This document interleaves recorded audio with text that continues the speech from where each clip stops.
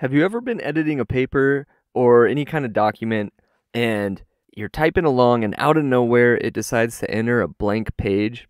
It's so obnoxious. This video is going to show you how to fix that. And it's actually way simpler than it seems. So let's look at how this can happen. Here I'm writing my super awesome paper, uh, and I'm down here at my last page, right? And I've already added a page break right before my works cited page which means I really have a little bit of extra space to work with here.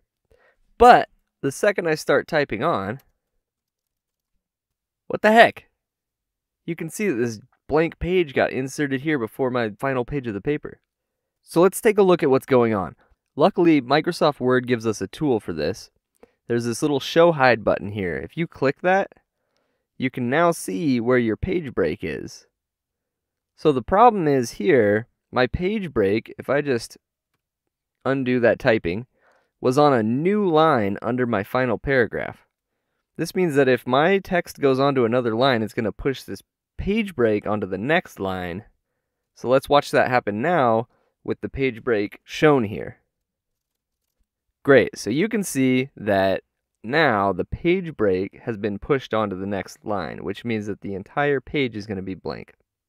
The super easy fix to this is just click at the start of the page break and backspace.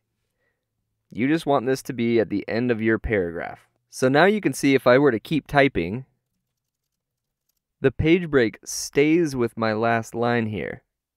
And as I add more words, it'll properly break up the paragraph so I'll never have one hanging line on the following page.